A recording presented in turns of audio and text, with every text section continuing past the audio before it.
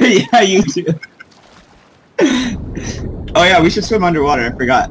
Yeah. Yo, what's going on with Andre, man? He's shaking. yeah, it looks like he's. I think I think because he came out of the motorbike while we was still riding it and got into the water. You guys are vibrating like crazy too. we, we, we all are.